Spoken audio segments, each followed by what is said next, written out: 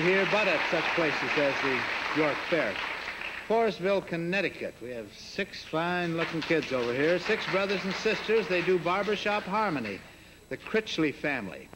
Who's the youngest in that gang? I am Mr. Mack. There are two more at home younger than I am, Donnie and Marv. Oh, for goodness sake, two more at home younger than you. Hmm? Uh, who teaches you this, uh, this barbershop harmony? My father does, Mr. Mack, and he says if, if the six of us don't win tonight, we'll be back next year with eight. Oh, he does. That's a promise. Well, why not? The more the merrier. Uh, they tell me you sing a cappella, and they've given me a pitch pipe here to give you a keynote. What, what key is it? F. F? Well, let's see if I blow the right one.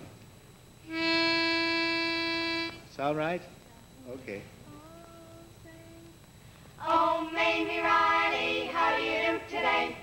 Oh, Mamie Riley, I'm going far away. Before. Oh, Mamie, Mamie, Mamie Riley. Slide, Kelly, slide. Casey's at the back.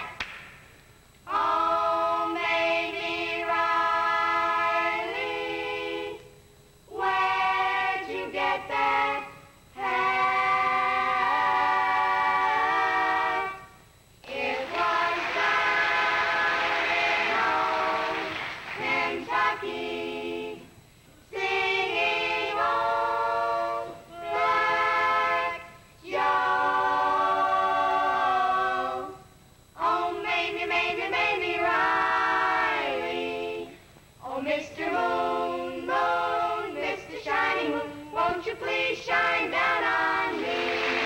Oh, Mr. Moon, Moon, Mr. Shiny Moon, hiding behind that tree. We Critchleys are telling you, the bum to Ted Mack will be true. Oh, Mr. Moon, Moon, Mr. Shiny Moon, won't you please shine down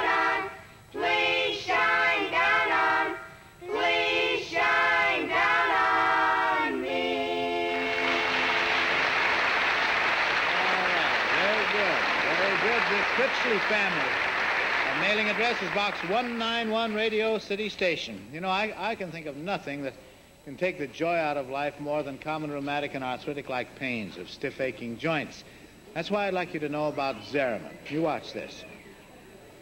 Do annoying pains make it difficult for you to bend, walk, or